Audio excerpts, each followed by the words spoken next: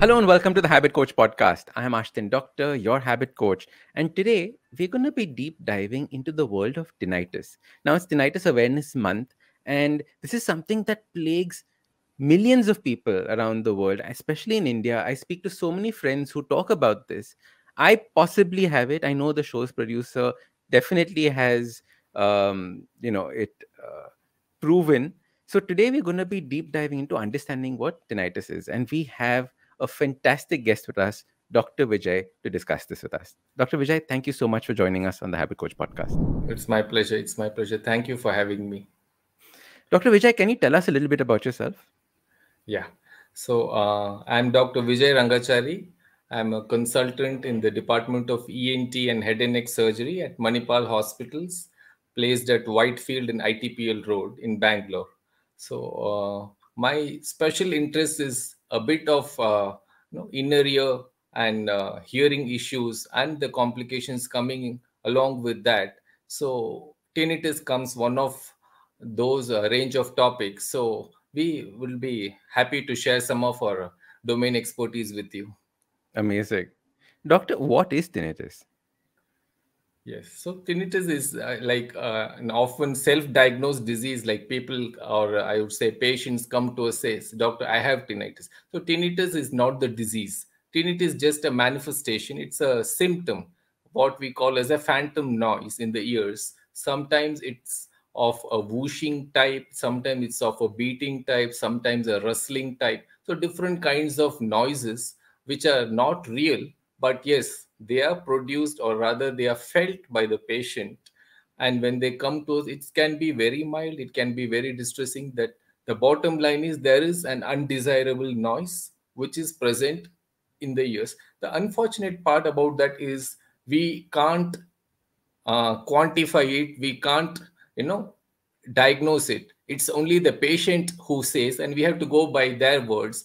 I have a sound i have tinnitus and I give him something or some prescription. Tomorrow he says, I don't have it. So I have to believe only the patient's versions. There is no way I can objectively find out if he really has it unless it's really loud, which may be in some cases, of course. So basically, coming back to the bottom line, tinnitus is a phantom noise which may be felt in the ears, sometimes in the head, sometimes in the brain, which is quite disturbing. Sometimes it picks up in the early stages, sometimes it's ignored for some time and then the patient comes to us with a terribly disturbing and no uh, sleep disturbing kind of a sound which is again a different range of tinnitus. So it's just a noise. It's a noise in the ears or the head.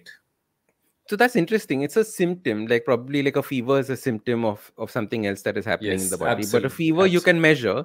This you can't measure. Is that what it is? Yes yes. We can neither measure nor we can be sure if it's hmm. really there or it's not there at all.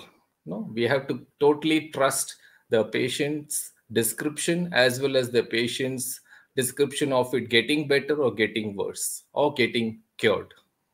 So interesting. So does this borderline between a physical ailment and a mental ailment? Is it no i won't you... say that way. The, it is hmm. again i told you it's a manifestation so it is it has mostly an organic basis, which means there is some underlying cause, and uh, it may be due to different reasons. So it is definitely a physical manifestation.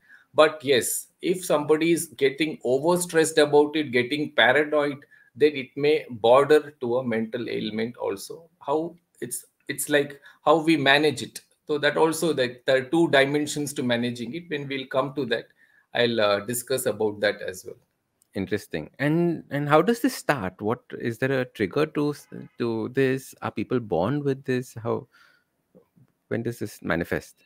Okay. So to understand we have to first understand what is the reason. So there can be many reasons for this which may start from some kind of an obstruction. So to uh, discuss tinnitus you have to first localize. So the localization has to be in the organ so why does the patient with tinnitus come to us? Why doesn't he go to a heart specialist? Why doesn't he go to a you know orthopedic surgeon? So the problem is felt in the ear.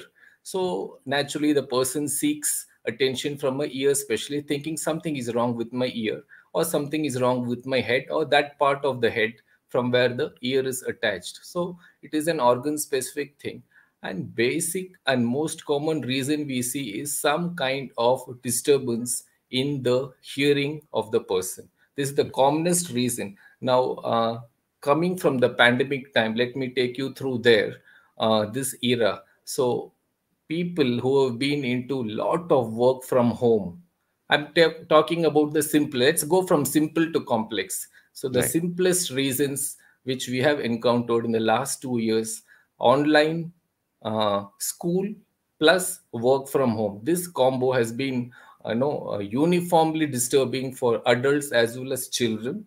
And uh, what i have found is that prolonged use of headphones you know, something which is the commonest and most easily decipherable cause has led to so much of noise trauma trauma to the ears. So somewhere what happens your brain is used to sound inputs from the ear through the nerves. And what is happening when there is some kind of an excess sound or an acoustic trauma or a prolonged trauma or a long duration of uh, music or maybe calls at high volumes what is happening that some kind of your fine hearing fibers start to get damaged.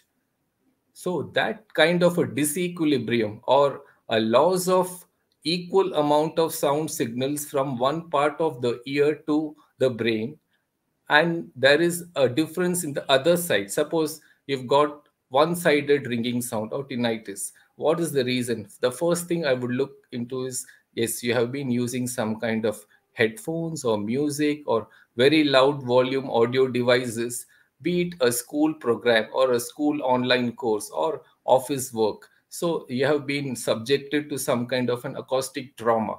When this acoustic trauma reaches a limit beyond which the ear can't tolerate. See, every organ has a capacity to withstand to some extent.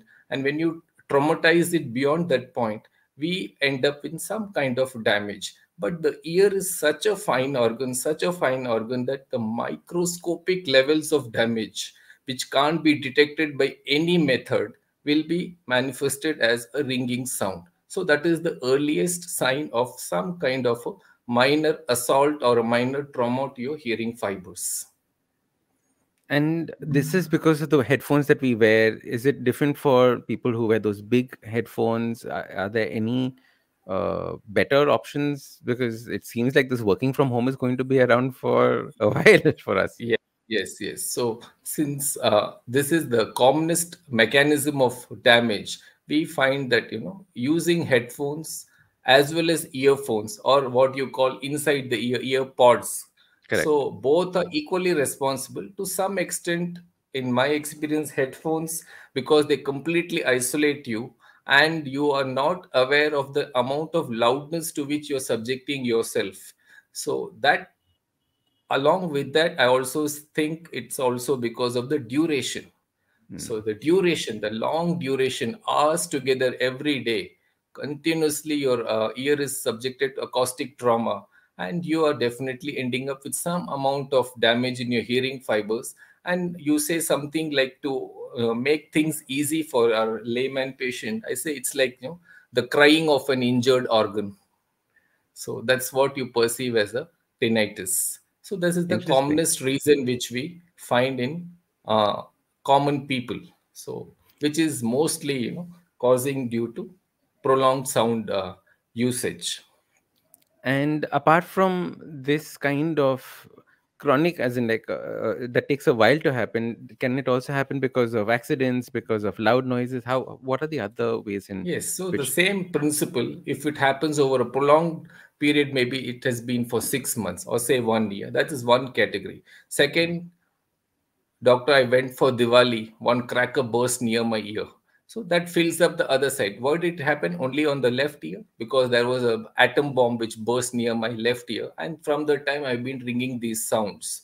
So often this is other type of tinnitus which is a sudden trauma or you have some kind of a altitude difference. Suppose you have done a bungee jumping and suddenly there's been a rupture in your eardrum or there's been an increased pressure in your eardrum. So some fluid accumulates and these are the causes for sudden ringing sounds. And of course another uh, very commonly missed one is a sudden hearing loss. So what happens in some people who get something like a viral attack in the ear? So the hearing uh, nerve gets badly traumatized and there is a total disruption of hearing to the extent of going to 80 to 90 percent in a single day. Often people miss it and we feel sad that no the other ear is being given by god to compensate but sometimes you don't realize that one is out of order because the other one is working well and your work mm. is going on.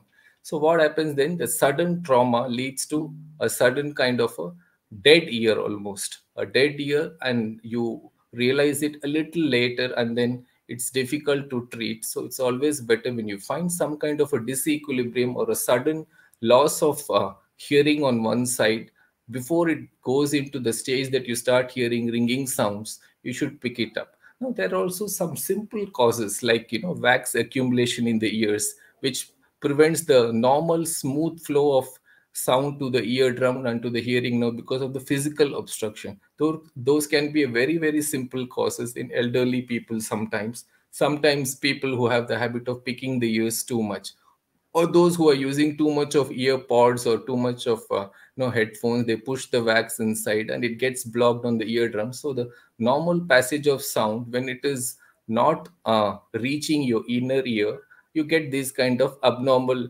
whooshy sounds or some disturbances or some rustling sounds in the ears which are very mild but that can be another pointer so essentially we need to check the ear starting from the outer ear the middle ear and the inner ear and try to figure out where the problem lies. So that is the physical treatment for the way that you would start thinking about it.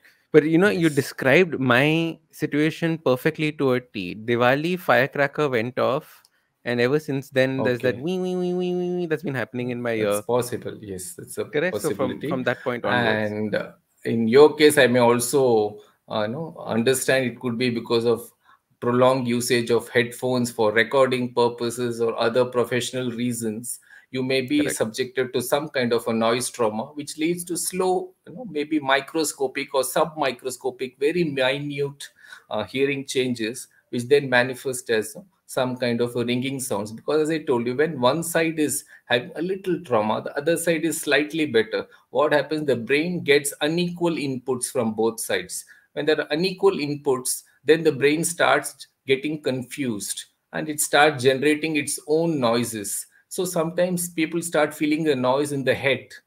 So that is another type of tinnitus. So basically it is just a phantom noise which is due to some disturbance in the equilibrium of your hearing apparatus which is the commonest cause.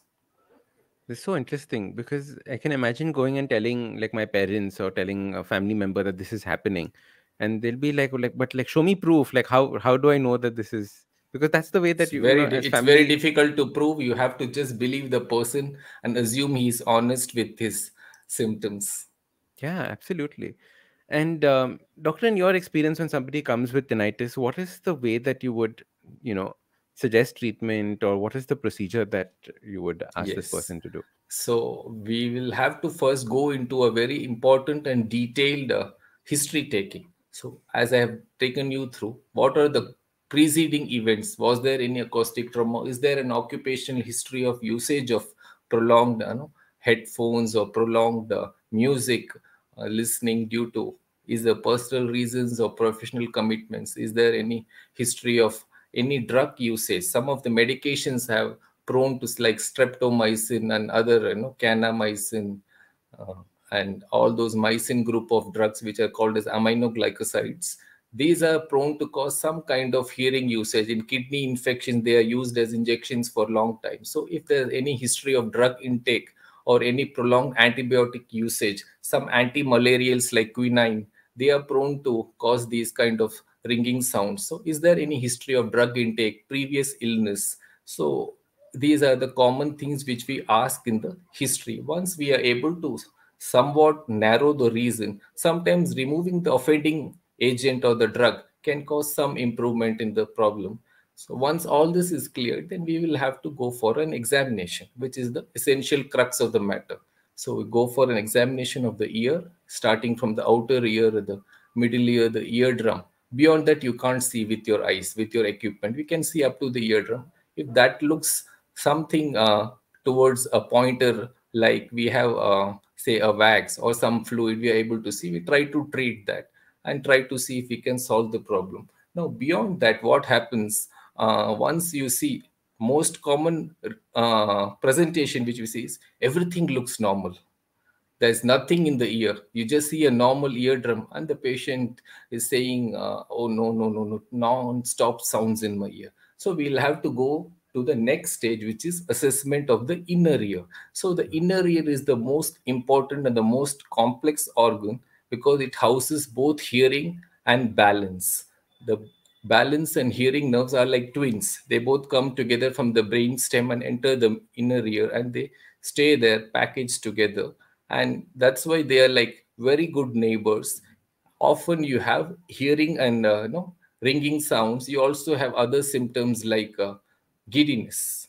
So that is another step deeper into the problem. If you're having you know something associated symptom like a giddiness along with your uh, ringing sounds so that takes you into the next step of assessment and we start usually with a very simple test which is called as an audiogram an audiogram helps you to understand the hearing fibers and the hearing status and compare both the good ear and the bad ear. Sometimes you have equal ringing sounds on both sides. So it helps to match and understand yes, there has been some acoustic trauma, some hearing damage in both the ear fibers. So if it is uniform on both sides, usually it is a pointer towards acoustic trauma, especially in your higher frequencies, which get damaged first. That's why when you're conversing, our speech frequencies are between 500 to 2000 hertz so we don't find that we are finding any difficulty in communication like okay i'm hearing fine why are you doing a hearing test for me that will be the usual query of the patient so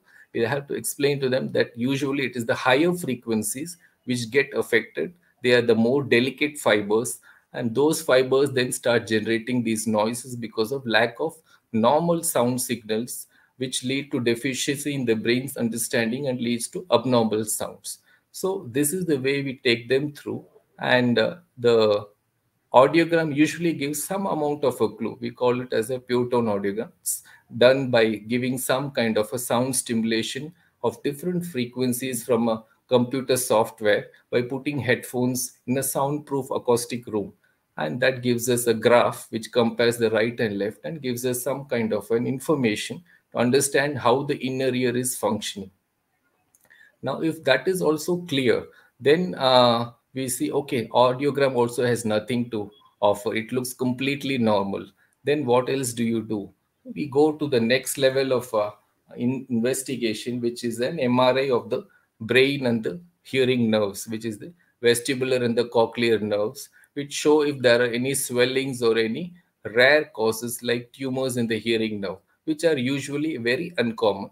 But it's not that we don't see them at all. Sometimes that's what I was telling you that there is a possibility of a coexistence of a giddiness or an imbalance along with ringing sounds. That the case when you expect something more happening in the ear, like some tumors in the hearing nerve or the auditory or the vestibular, the balance organs, where you find those contributing as tinnitus may have a deeper and more sinister story to it.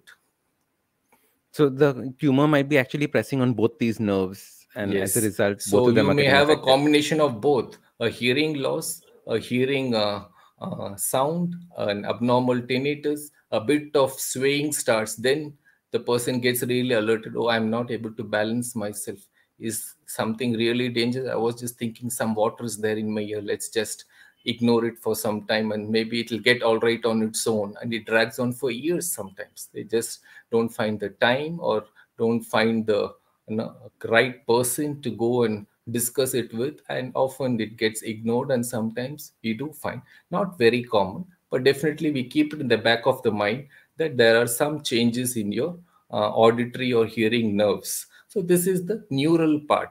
Now the other part is the vascular part vascular part when i say it means something to do with the blood circulation so the blood circulation which is very complex starting from the heart and going towards the brain and it goes en route through the ear and the hearing part and the back of your neck. So sometimes there are some kind of a swellings. Either it can be both extreme. There can be some swelling or some kind of a disturbance in your vertebral system or the carotid system.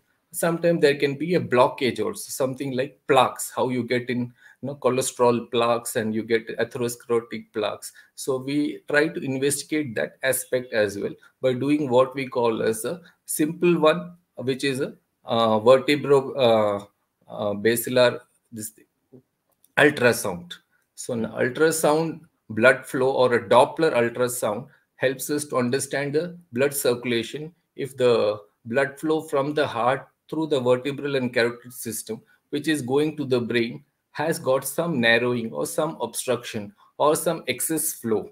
So these are the other causes for tinnitus which may be manifested in a different way. They may be more of a whoosh or a pulsating sound. Sometimes we get a very classical description that uh, we have something like a sound coinciding with my heartbeat.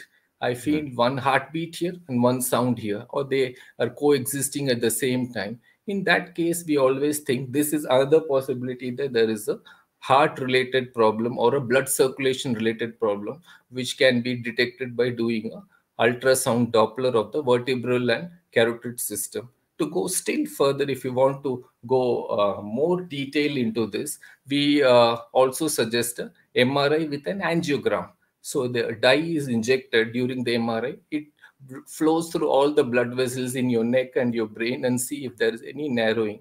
So it can be either a narrowing or it can also be an excess flow or something like a uh, aneurysm or something like a swelling in your blood circulation, which causes more fast sounds and the blood flows in a different velocity. So the body is very perceptive. So usually we have to take these symptoms with some kind of a seriousness. Nobody comes to make a joke, isn't it? So if there is any symptom which is very diagnostic of this, it's good to go to the maximum extent if there is a possibility of some kind of changes in the blood circulation which can be picked up by either an ultrasound Doppler or still higher if you want to go, go for a MRI angiogram, which helps us to understand changes in the blood circulation of the patient. Okay, now we'll come to some very common medical causes also. What are the very common medical causes? Just a simple anemia. What happens in anemia? Your hemoglobin is down when your hemoglobin level is down, what happens is that your oxygen carrying capacity of your blood is reduced. The person is feeling little tired. So the blood has less ammunition. So it has less hemoglobin. It flows with more force. So that is called as a hyperdynamic circulation, which means the blood circulation is going with more force through the same vessel. So that is perceived as a whoosh sound and it goes through. So if you look at a simple cause like, you know, uh, a hemoglobin test, that can give us a clue if there is something like a anemia, which can cause these kind of uh, hyperdynamic sounds or sounds of a blood flowing with more velocity, more speed, which is again perceived as a distressing whoosh sound through the ears or through the head. So that can be one reason. Other common reasons could be vitamin deficiencies vitamin B12 and vitamin D deficiencies are so, so common with more and more of indoor activity and less of sun exposure. The vitamin B12 levels, when they plummet down, it causes a lot of uh, changes in your myelin transmission, your, uh, your neural system, which has got a myelin coat and the neural transmission is highly facilitated with a good vitamin B12 levels and the drop in vitamin B12 levels can cause some amount of variation in your neural transmission and your neural symptoms, which again may be perceived as some kind of you know abnormal sensation. It's a very varied uh, spectrum of sounds which a patient may feel. Somebody may describe it so vividly that we are lost. You know, like there's there's such a big description of how all different kinds of sounds can come in your body or your ear or your head, and uh, that is so one person you know, might have whooshing and ringing and this all, uh, all at different times at different times but usually it will stick to one type of a sound which the person classical describes. It always increases when the person is in a silent zone. Now i'm mm. sitting with lot of noise. No the external noise masks this sound so i'm not able to perceive it. But the classical fear will come when it's going to be night because when everything is silent this mild noise becomes terrible and irritating and sinister can even make me lose my sleep. So mostly the fear or the description of symptoms comes when they are like you know so when it comes to the night i am gone. This yeah. is very very troublesome in the night. It can make me an insomniac because i'm not able to sleep at all to do something for that. So this is the one of the main uh, presenting symptoms this is how we take them through different types of investigations to rule out drug history to rule out occupational history to rule out vascular causes to rule out neural causes to rule out uh, hearing damage and also to rule out more dangerous things like brain aneurysms or nerve tumors or brain tumors in the brain stem which can cause these kind of abnormal sounds coexisting with other factors of course like giddiness imbalance and like. It's amazing how all of this is so connected in in, in this. Yes. Doctor a question a person who doesn't have tinnitus in a quiet room will hear what? He won't will hear he, anything. Why? Zero. Like will actually be zero, or there will be a ringing, there will be a slight hum. Like what is it that the is some mild environmental sounds may be there. I don't think hmm. anything mm. you should have more than uh, routine environmental sounds in your vicinity, which can be mm. uh, sometimes pleasant. Sometimes, if it's the barking of a dog, it can be irritating to you as well in the hmm. middle of the night. But bottom line bottom line is that if you're uh, not suffering from tinnitus usually you have a undisturbed sleep. You don't feel any kind of you know phantom noises during the late nights and early uh, mornings which is the maximum quiet time when you perceive these sounds to get exaggerated and disturbing in nature before coming into how we can how we can find ways of treating it and what we can do to solve it mm. i just hmm. wanted to understand so tinnitus is taking place. Like you said it disturbs sleep. What are the other aspects of life have you noticed amongst your patients that it has disturbed or you know it affects does it affect a, a person mentally? Does it affect a person relationship wise how does it have you noticed that affecting people? Yes. So uh stress is a very very common factor. Sometimes the patient themselves give us a pointer uh, i've been very fine sir. Off late my office stress has increased and my tinnitus has increased. So it manifests as a, a withdrawal symptom a, a stress symptom. It reduces your efficiency it reduces your work performance it reduces your sleep more than anything else makes you drowsy and inactive and lethargic in the mornings or it makes you somewhat less eager to interact. You're bordering on you know sometimes depression. People go into depression to the extent we have even used antidepressants as one of the treatment for it is an established treatment for tinnitus because it helps to improve your neural capacities. So basically it is a, an altered uh, social behavior if i may use. If somebody see it depends from person to person. Some are brave hearts. They'll suppress everything and move on with life. There are some are the little more sensitive type who uh, know exaggerate their symptoms and they allow those symptoms to take over their life. So there again behavioral therapy also helps when we come to the part of uh, treatment strategies. But basically it is disturbing to the extent it causes you a phobia to go into a room alone. It can cause a lot of interaction uh, problems. It can cause poor work efficiency. It can be a cause for your social withdrawal and many of these kind of social behavioral problems. So um, yes. doctor there's something interesting i don't know if, if this happens to patients or not. I'm just sharing an experience with you um, yes. i feel that my i have a ringing sound that happens like i said i was that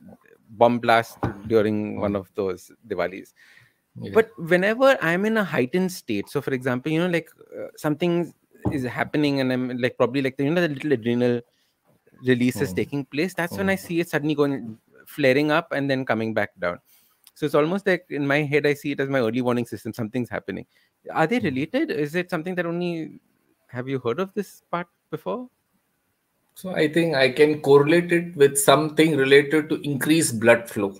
As I okay. told you, whenever there is an increased blood circulation, be it any cause, so mm-hmm. the sounds which are uh, the normal blood flow. See normal blood flow in my body should be silent. I don't perceive blood flowing in my body. But when it Correct. goes with extra velocity it can be in an excited state as you said or it can be in something like as i told you an example of anemia where the blood is more forced to rush with more velocity to compensate for the lack of hemoglobin lack of oxygen carrying capacity. It has to rush oxygen to the body parts with more speed because it has less messengers, which are the hmm. hemoglobin molecules. So this can be one of the explanations when you are in a heightened uh, uh, no, uh, state of excitement. You can have a similar response, like some blood sounds or no rushing in your head, like how you feel some no an excitement running in your head, something like that.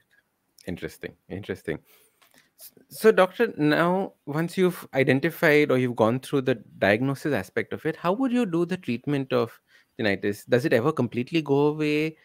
Is it always partial? How what what happens? Okay, fine.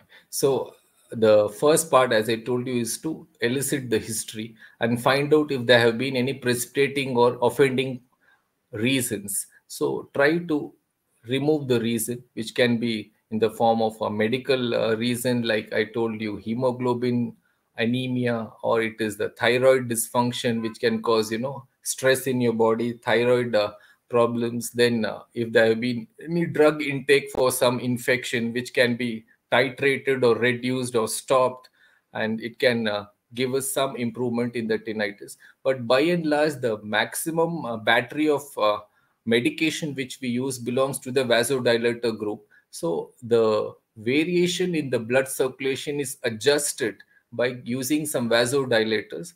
In my understanding, how they help or how I explain it to uh, patients is uh, it helps to improve the blood circulation of your inner ear. It helps to uh, you know kind of uh, improve the oxygenation wash off the toxins which are accumulating there. It helps to regenerate to some extent the health of your neurons though the hearing often is not recovered fully and it remains static but the sounds are mitigated to a last extent. And i have found reasonably good responses. As you said it may not go away completely but most of the uh, clients or patients they are happy if you are able to reduce the sounds to a tolerable level or it just becomes so mild it just stays in the background like some background music. And uh, we don't have to be bothered and disturbed by it day in and day out. And that helps us to help uh, the patient by using some medication. The medication mostly is in the form of vasodilator medications which help to improve the blood circulation. And sometimes as i told you some b12 b12 is usually a routine medication which helps to improve the neural pattern the neural transmission pattern, if I may use the word. So it helps to quieten the nerves and helps to give some kind of a relief in the uh, symptoms. So usually it starts like reducing the loudness of the sound. The I mean the medical response to treatment is manifested or. See, again, we can't measure the response. We have to go by what the person says but usually when they come back after a course of two weeks or three weeks the usual uh, uh, the satisfactory response which we get is that we have found it has helped to the extent that the sounds have become very less or sometimes the sounds have become less frequent.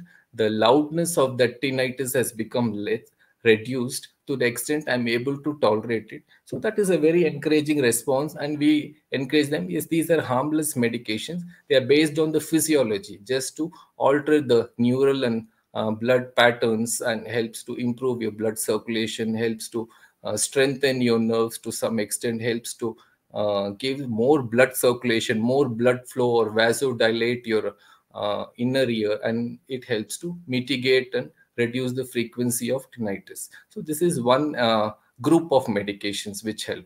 The second group of medications which I told you, we use uh, drugs which are uh, anxiolytics, drugs which are uh, antidepressants sometimes, milder doses, and they help to allay the anxiety because for every symptom, there is the mind which also plays along with it. So when we are able to remove the anxiety, remove the fear, improve the sleep, make them sleep better, relax the muscles, relax the nerves, it gives some amount of improvement in the tinnitus. So there's a whole group of medications which are designed to do that. I don't want to talk about particular prescription drugs, which is not the right thing to do in such a podcast. So I just want to give a broader uh, perspective that the group of medications which are used are basically vasodilators, neurotropic agents, and sometimes muscle relaxants, anxiolytics. These are the usual pattern of medications which help in this. So that is the medical management part. Now we come to the other part, which is confuse the brain by giving your own noise, which is oh, called wow. as yes. So the other pattern of treatment is to use some alternative noise which we call as wideband noise. It may be as simple as something like, you know, keeping a transistor in, in between two frequencies. So you get one flat noise like this, something like that. So which we hmm. call as a white noise. So that is one of the frequent methods of training.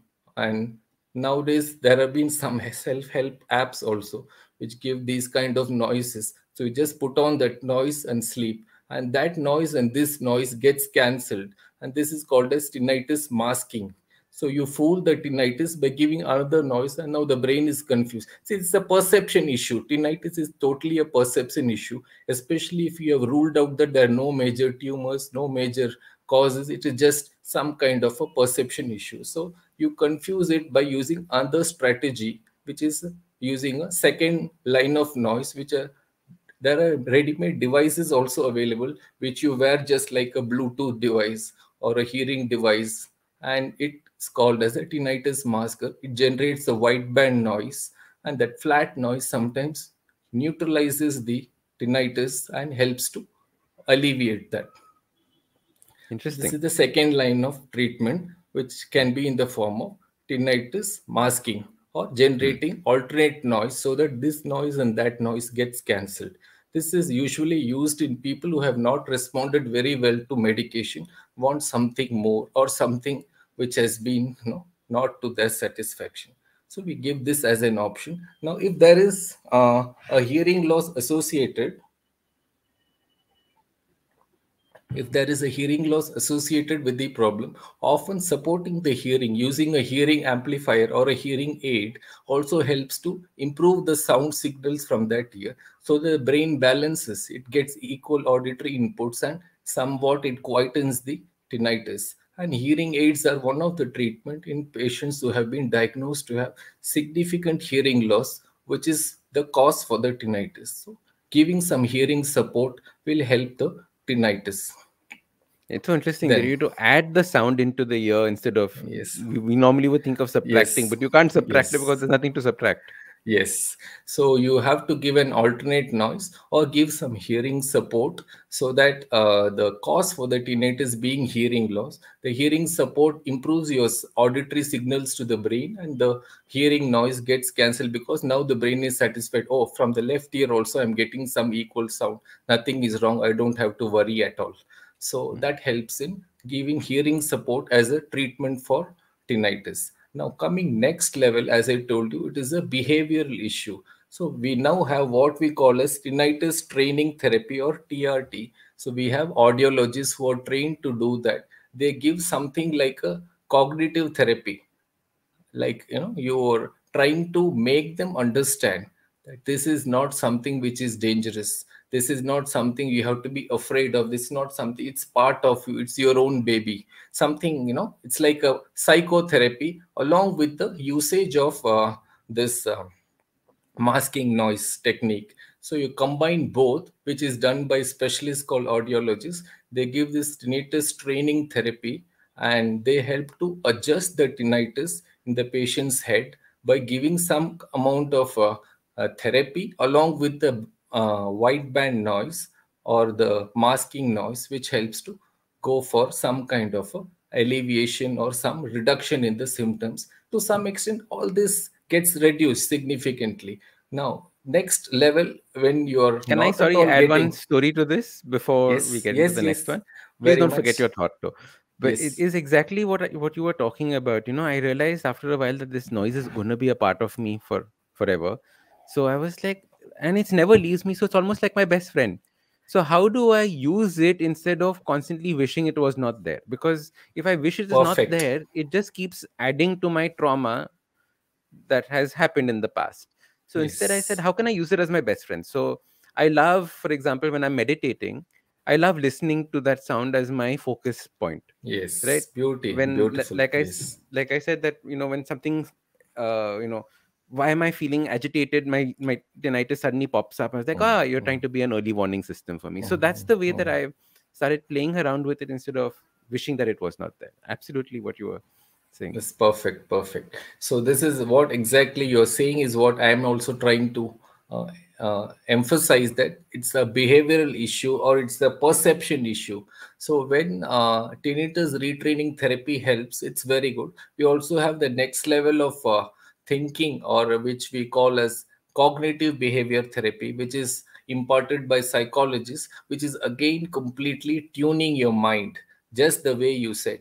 What is this? Is it going to, you know, uh, be your enemy or is it going to be your friend how can you use it in your life how can you forget it and uh, when your concentration is moved to something else and uh, you're able to live with it or you're able to use it to your advantage which is a part of cbt we call it as cognitive behavior therapy in which there is some kind of a psychological training given through multiple therapy sessions it doesn't happen in a single session. So multiple therapy sessions are done. This helps them to understand with the psychologist how to use this as a friend and not as an adversary, how to utilize this as a strength. And slowly, when you move your mind out of it, you are able to get out of it. And this helps in one of the therapy uh, methods for tinnitus.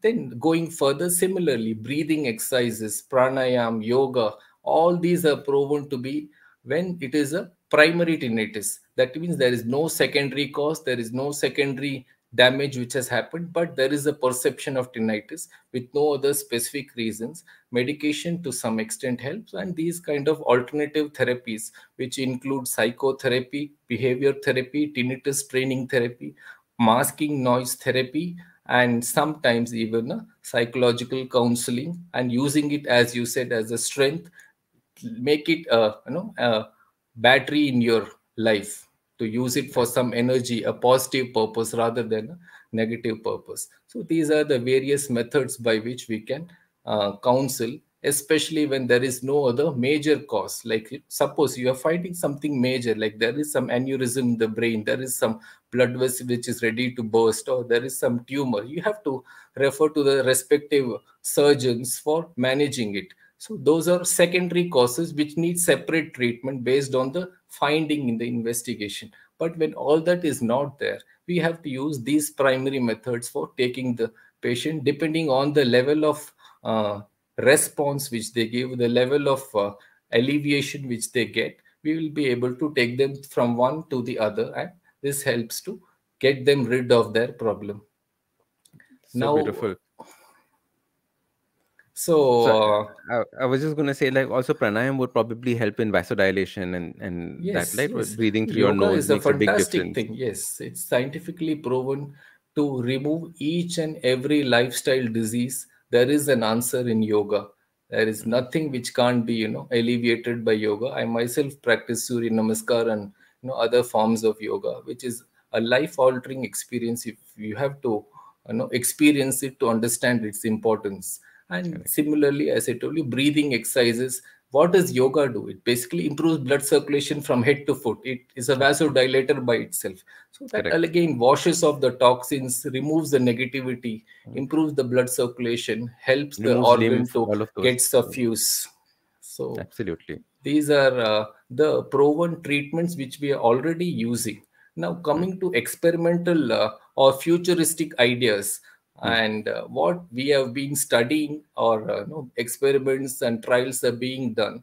We have uh, done uh, what is called as a functional mri so what is the functional mri see mri is an image. Now, a functional MRI is something in which they are detecting that part of the brain which is getting active during tinnitus. And research has proven that there is something uh, called as the caudate nucleus, which is one of the parts of the brain which has shown some kind of uh, vigorous activity when you do a functional MRI in patients with tinnitus. So, a lot of uh, research is going on, though it is not FDA approved. We are not bringing it into practice. That some kind of a you know a stimulation or some kind of an implant which is put in that active area, which is giving you that sensation of tinnitus, which is called as uh, a deep brain stimulation.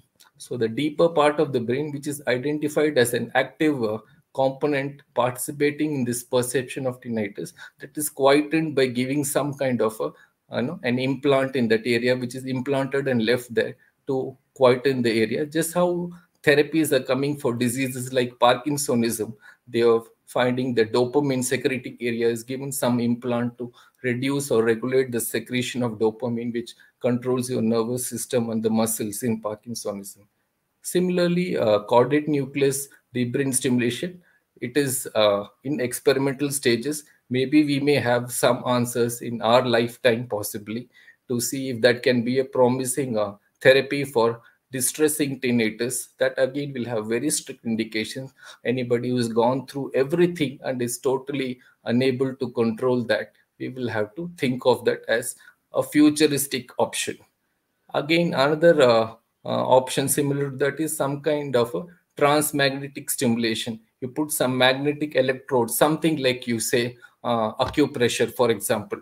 So or you do magnetic therapy. This also has got some kind of a futuristic trend and transmagnetic stimulation of the scalp gives suppose it's on the left side or the right side you give some kind of alternative therapy and it helps to alleviate the symptom or reduce the perception of tinnitus see all these are all perceptions see how do you get relief from headache by putting on Amrutanjan balm it doesn't Correct. cure your headache. It gives you a counter sensation, which is more powerful than the headache. This is called as the gate therapy in physiology of the brain. So when you give a counter sensation, the brain takes over that sensation, forgets the first sensation.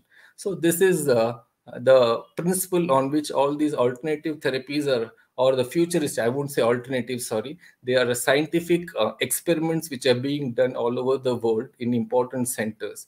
And hopefully we'll hear about them in india very soon giving some kind of a respite or a futuristic you know, option for uh, tinnitus treatment. So interesting. I like the way that it is making the sound or the pain different so you forget about what the original yes, simulation this was is the it's principle like, of all treatments hmm my dad used to joke about this when we were in the swimming pool and we suddenly got a cramp in our foot. He would whack us and he was like, See, this is paining more than the foot now. You've forgotten about the foot. See? Absolutely. so, this is gate therapy at its best. Give a counter sensation and you forget the original sensation. Give the counter sensation. Doctor, what can we do to prevent it from happening? So, say there are people who are listening who are like saying that, oh, I don't have tinnitus. What are lifestyle things that we can do to prevent it from happening? What are things that we can do to take care of it from now onwards? You have to take care of your ears. Basically that is the commonest origin of tinnitus. So whatever and nobody think... thinks about them at all right? We just no, take it no, for granted no, till we can't yeah. hear now see i have given very simple examples to patients. Nowadays we have these earphones uh, or you're uh, connected to your uh, mobile phone for example. You have a marker. When you're crossing the volume beyond a point it says are you sure you want to go beyond that? There is a red and a green zone in your volume. So that is one way of understanding the problem. Like if you can regulate your exposure to loud noise limited, yes you should enjoy music to some extent but keep it within uh, tolerable limits. See your hand is made to lift say for example 50 kg. If you lift 200 kg with your arm is it not going to fracture? The ear is much more delicate than that. So if you subject it to a noise level which is beyond its capacity it's going to get ruptured. The eardrum may rupture or your uh, uh, hearing fibers may start decaying. This leads to noise. Basically i would say in one word a noise hygiene. So that should be the best preventive strategy for tinnitus. Of course, other things are very specific, like use of particular drugs, and although that's not in our control, but in our lifestyle, I think if you can do one thing, practice, you know, judicious usage of music and headphones, practice uh, noise hygiene in a way that you're not exposed to prolonged loud music at intolerable levels, and uh, avoid any kind of uh, prolonged uh, insults to your ear. Anything to do with chronic inflammation? Anything to do with supplements that you can take that help with any of this uh, to prevent it from taking place? Preventive, I don't think so. It has much role, but yes, curative definitely. As I told you, B vitamin B12 supplements, antioxidants definitely help to some extent in alleviating the neural symptoms and help your uh, regeneration of the lost fibers to the extent that they cry less. I, this is how I explain. No, it's like you're assaulted them. Now they are going to cry. You bear with it. So it's soothing it more than preventing yes, it in that yes, in that context. Yes, so it helps to soothe and regenerate the uh, lost fibers to the extent that they are able to reduce the noise input from the ears to the brain. Interesting. What about things like uh, noise cancellation, active noise cancellation headphones? Do they make a difference? Do they not make a difference? Good, bad? What are your thoughts on it? No difference. See, ultimately, noise cancellation headphone does prevent outside noise from coming to your ear. Am I right in understanding? Correct. Yes. So how is it that plays going a to anti-frequency so that it balances out the outside noise. Yes, so that is only to make you listen with more intent so that the background or the outside environmental noise doesn't disturb your conversation or your understanding of the meeting. So Hmm. that way, I don't think that has any role to play. It is again, if you're using whatever headphone at an exceedingly high volume or for a prolonged duration, you are going to get into trouble with your ears. And that is the root cause of the problem. Noise cancellation headphone or no noise cancellation headphone, it is immaterial as per my understanding. And if you're using headphones, use them at the lowest volume possible. Give yourself Yes. a break once in a while. Is that will yes help you can well? give a break in fact uh, they uh, the patient themselves come sir i can't do without my headphones i have to do my meetings i have to live my life i said yes you have to live your life why don't you switch to uh, no a speaker phone for some time. Why don't you try to close the door and use a speaker phone instead of plugging the headphones and putting it at the maximum uh, level of noise? Why don't you remove it for some time inter, uh, intervene with some speakerphone for two hours go back to headphones for two hours. When it's not crucial change to speakerphone or use a bluetooth or uh, use a, a direct conversation similarly using mobile phones for very very prolonged duration the radiation part of it that also has some amount of effect. I say okay you switch to the good old landline when you don't need the mobile phone have a landline at home so these are all very simple uh, lifestyle measures which i think can be uh, good for uh, uh, prevention aspect Interesting.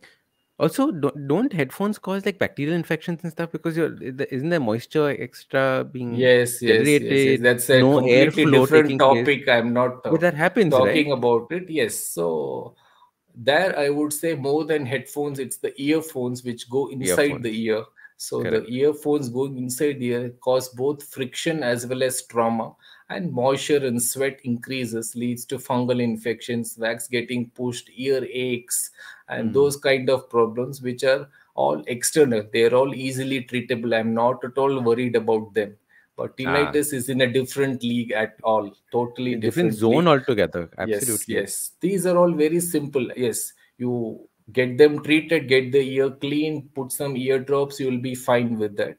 But those are all simple things. They are not at all things which are very uh, troublesome for us. But inner ear issues, again, external ear, very easy to treat, and middle ear, okay. But inner ear is the most difficult to treat. It's the most complex organ of our body with both hearing and balance functions and we definitely need to give it the due respect it deserves Very, very powerful. Last question before I, I leave Yes. you um, is uh, the people who go diving, for example, or adventure sports, right? Does tinnitus affect that? Is there a correlation? Have you noticed anything? I think uh, it is more of middle ear which participates in high altitude sports because it's more of fluid accumulation which happens, whether it's just a simple thing like an aircraft descent suddenly, or people who are sensitive experience excruciating ear pain, sometimes to the point of deafness when there is a landing because of sudden barotrauma. There, it's the middle ear which works. There again, it is more easily treatable. We do see such patients. Again, taking the other example which you gave, like skydiving or scuba diving, going deep sea diving. These are the situations in which the middle ear usually gets affected with fluid accumulation or even a negative pressure accumulation in the ear. So those things are, are different and they get treated slightly more easily and they are uh, mostly the middle ear which participates in such uh, altitude variation uh, situations. Excellent. Dr. Vijay, thank you so much for coming and sharing this. You know, like like we said, it's tinnitus awareness month, and I think so yes. many people have it. It's so important to have this information yes, out yes, there. Yes, yes, Thank you be... so, so much for sharing and coming on the podcast. Thank Doc- you for having me. It was such a pleasure to interact with you. Yes, we'll definitely stay how can, touch. How can people get in touch with you and uh, this conversation forward? People are yeah, listening. see, uh, I'll be available full time at Manipal Hospitals in Whitefield all the days. So if you want, you can look up Dr. Vijay Rangachari. You'll easily find me on Google, and it won't be difficult to meet me if you have a problem regarding tinnitus or anything in the ear, nose, and throat and it was such a pleasure. It was an enriching experience for me to you know uh, revise mentally all the things which we have been uh, reading and doing. And it was fun to be on your podcast. You're an amazing host. It was lovely meeting you. And we look forward to more such interactions in future. Done for sure. Next time i come to bangalore definitely coming to get my tinnitus checked with you. Uh, thank you most so much. welcome and i'm sure you'll be fine Thank, Thank you. you.